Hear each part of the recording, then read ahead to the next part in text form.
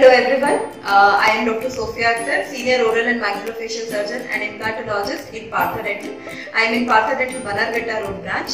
A patient had come to us with a problem of wisdom tooth. She had impacted wisdom tooth which was which were not, not able to erupt. So uh, we had advised her to remove the tooth, to go for extraction of the tooth and she has undergone the extraction of tooth. She is quite happy with the treatment. So let's listen in the words of patients.